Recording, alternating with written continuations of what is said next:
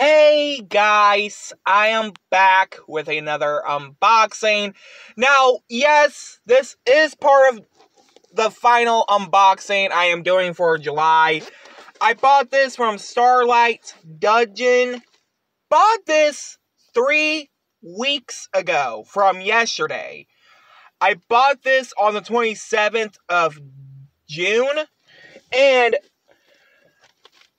waited two weeks for this to get uh shipped, but they shipped it like I want to say about four days ago, and here it is. It is the Shinobu plush from Demon Slayer. This is a great Eastern one.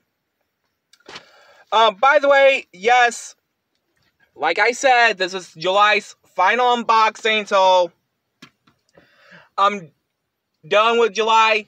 Getting to uh, August's unboxing, which I've been unboxing a few things for August. So yeah, um, let's go ahead and get her out of the bag in three, two, one. Alrighty, guys. Here she is out of the bag. And let's take the tag off of her in three, two, one. Then review her. Here she is without the tag on.